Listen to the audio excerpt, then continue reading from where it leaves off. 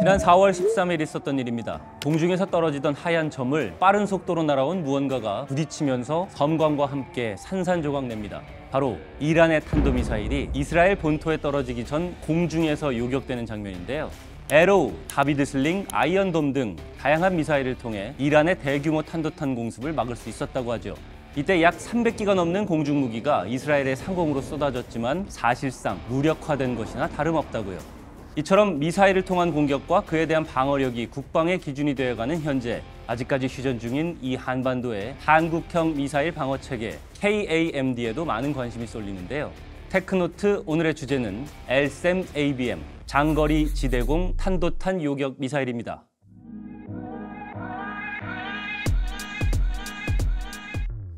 흔히 탄도미사일은 비대칭 전력 무기라고 합니다. 방어가 어렵기 때문에 상대적으로 군사력이 약소한 국가가 강대국을 상대로도 치명적 타격을 입힐 수 있기 때문이죠.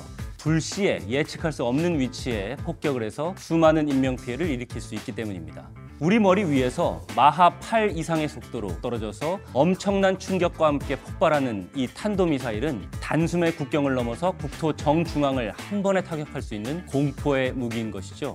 그렇다면 막을 방법이 없을까요? 아닙니다. 날아오는 피해 범위 밖에서 격추를 하면 되죠. 공중에서 엄청난 속도로 날아오는 미사일을 도대체 어떻게 격추를 하느냐? 여기서 바로 우리가 필요로 하는 첨단 방산 기술력이 드러납니다. 한국형 미사일 방어 체계 계획 KAMD는 북한의 탄도미사일 프로그램이 우리나라의 국가 안보에 중대한 문제가 된 이후에 개발이 시작됐습니다. KAMD는 다양한 유형의 탄도미사일 위협에 대한 다층 방어를 제공하도록 설계돼 있죠. 우리나라가 현재 운용 중인 미사일 방어 체계로는 하층 방어를 담당하는 패트리어트 시스템 그리고 국내 개발 중거리 지대공 미사일 천궁2가 배치돼 있습니다. 2018년부터 양산하고 있는 우리나라의 천궁2는 탄도탄과 항공기 공격에 동시 대응하기 위해 개발된 중거리, 중고도 지대공 요격 체계죠. 이동 가능한 레이더가 적의 미사일을 탐지하면 천궁2 미사일을 발사해서 해당 적 미사일을 직접 격추하는 방식으로 작동을 합니다. 하지만 이러한 미사일들은 탄도탄 방어 체계에 있어서는 모두 중고도 또는 하층 방어 체계에 해당되는데요. 그러다 보니 대응할 수 있는 탄도 미사일의 속도에 제한이 발생하고 방어할 수 있는 범위가 한정됩니다. 특히 고도가 낮은 데에서 요격을 해야 할 경우에 한 번의 요격에 실패하면 다시 요격할 기회를 얻기 어렵다는 문제점이 있습니다. 이런 약점을 보완해서 한국형 미사일 방어 체계를 크게 발전시킬 기술이 상층 방어를 담당하는 체계, 바로 오늘 소개해드릴 LSAM ABM 미사일입니다. LSAM이란 미래 한국의 영공을 방어하기 위한 대한민국의 장거리 대공 미사일 체계입니다. L-SAM은 탄도미사일을 요격하는 대탄도탄 유도미사일 ABM과 항공기나 순항미사일을 요격하는 대항공기 유도미사일 AAM으로 나뉩니다. 오늘 이야기하게 될 L-SAM ABM은 국방과학연구소 주관으로 한화 에어로스페이스가 시제 업체로 개발하고 있는 상층 방어용 장거리 대공 미사일 체계입니다. 이미 여러 번의 시험 발사와 요격 시험도 성공적으로 마쳐서 올해 12월에 체계 개발 완료 예정이고 2027년부터 순차적으로 실전 배치하는 것이 목표라고 합니다. LSAM ABM은 40km에서 70km까지의 고도에서 적의 탄도미사일을 요격한다고 보시면 되는데요. 요격할 수 있는 적 탄도탄의 최대 속도는 마하 8.8. 이걸 초속으로 따지면 초당 3km를 가는 속도라고 하니까 어마어마하게 빠른 미사일을 격추할 수 있는 거죠. 무려 70km의 고도에서 초속 3km로 떨어지는 탄도탄을 다른 미사일로 요격한다는 것 상상만 해도 쉽지 않아 보입니다. 어떤 기술이 그걸 가능하게 하는지 LSAM ABM의 구조를 들여다볼까요? ABM은 1단, 2단 그리고 킬 비클이라고 불리는 3단 이렇게 총 3개의 단으로 구성되어 있는데요. 1단 그리고 2단의 추진기관은 지상에 있는 미사일이 최대한 빠르게 요격 고도로 도달할 수 있게 해주는 역할을 합니다.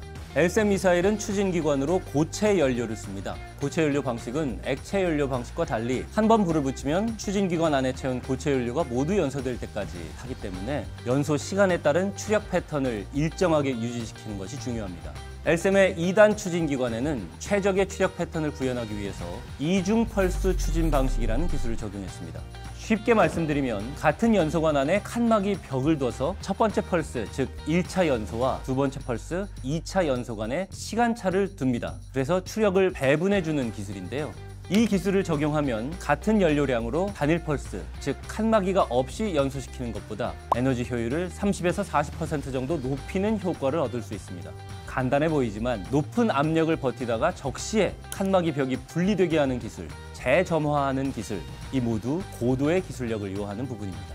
마지막으로 요격을 수행하는 고도에 다다르면 킬비클이 분리돼서 작동하기 시작합니다. 초고속으로 떨어지고 있는 탄도미사일을 요격해야 하는 상황에서는 미세한 오차만으로도 요격에 실패할 수 있기 때문에 극도로 정밀한 위치와 자세를 제어할 수 있는 역할을 해야 합니다. 이걸 가능하게 하는 것이 바로 LSAM ABM의 핵심 기술인 DAX, 위치 자세 제어 장치입니다. 이 닥스 기술은 전 세계에서 개발에 성공한 나라가 극히 드문 고난도의 기술인데요.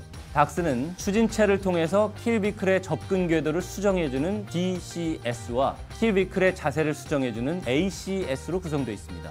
영상에서 볼 수 있듯이 이처럼 정밀한 조정이 가능하고 정밀한 자세 제어를 통해서 초속 3km가 넘는 상대방의 탄도탄을 오차 없이 요격할 수 있게 되는 것이죠.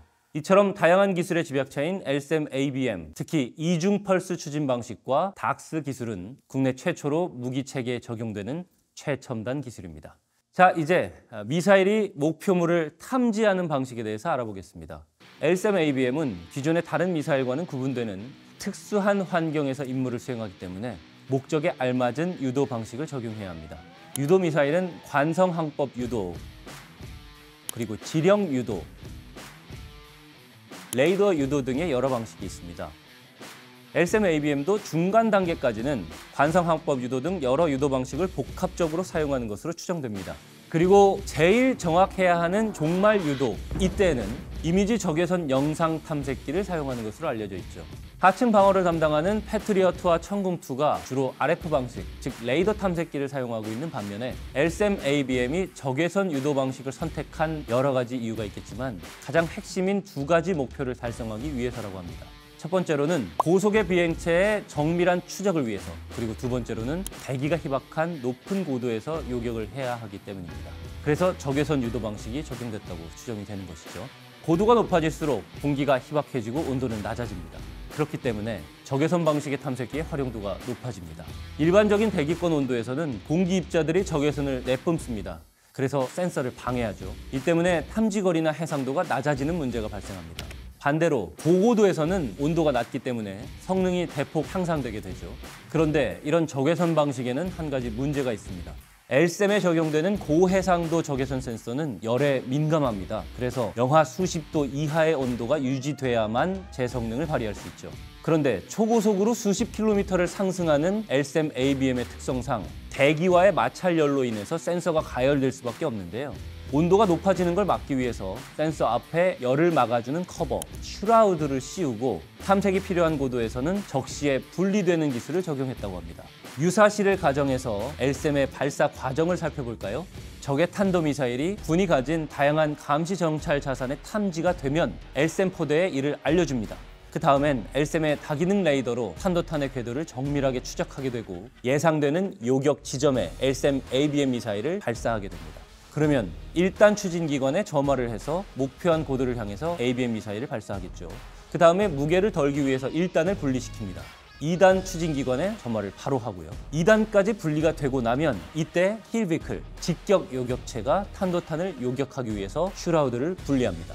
shroud 안에 있는 탐색기를 통해서 표적의 위치를 추적하고 위치 자세 제어 장치인 DACS가 작동합니다. 그리고 세밀하게 위치를 조정한 후에 표적에 직접 요격하죠. 힐비클의 분리 후부터 목표 충돌까지는 수초에 불과한 아주 짧은 시간입니다. 이 찰나의 시간에 초고속으로 날아온 두 미사일은 정확하게 충돌하면서 공중에서 제거되는 것이죠. 그리고 LSAM ABM에는 별도의 탄두가 없습니다. 미사일이라고 하면 보통 탄두를 실어서 날아가다가 목표와 충돌하는 그 시점에 탄두가 터지는 걸 뜻하지만요. LSAM의 경우에는 높은 고도에서 마하 7, 8의 속도로 날아오는 적의 탄두탄을 직격으로 그냥 요격하기 때문에 충돌만으로 파괴가 가능하다는 겁니다. 지금까지 시험 과정을 봤을 때 엘셈의 요격 성공률은 매우 높은 것으로 예측되는데요. 다가오는 2027년 실전 배치가 된다면 든든한 미사일 방호 체계 구축의 중심이 될 것으로 예상됩니다. 세계 안보를 위협할 수 있는 무기는 다양합니다. 특히 미사일이 개발되면서 그 위협의 수위가 더욱 올라갔죠. 그렇기 때문에 저마다 다른 각도와 고도에서 떨어지는 미사일을 방어하기 위해서 상층과 하층 여러 층으로 방어선을 구축하는 것이 중요하게 됐습니다. 그동안 KAMD의 탄도탄 요격 체계에는 하층 방어를 담당하는 패트리어트 그리고 천궁2뿐이었습니다. 그리고 이제 LSAM 장거리 지대공 유도 무기가 전력화돼서 상층 방어 능력을 확보하게 되면 한국형 미사일 방어 체계는 완성 단계에 들어선 것이나 다름이 없겠죠. 하지만 우리는 여기서 그치지 않습니다. LSAM을 개량한 LSAM2도 개발 중인데요. 이건 요격 고도가 최고 100km 이상으로 알려져 있습니다. LSAM 체계가 본격적으로 우리나라에 배치된다면 북한의 동시다발적인 미사일 발사에 대응하는 능력도 높일 수 있겠고요. 미사일 방어 범위도 지금보다 더 넓어질 수 있겠죠. 우리나라는 천궁2를 사우디아라비아에 수출하는 등 선전을 보이고 있습니다. 이번 연도 말에 LSAM 개발이 완료되면 우리나라도 전 세계 미사일 방어 체계 부문에서는 손꼽힐 만한 국가가 될 수 있지 않을까 예상해 봅니다.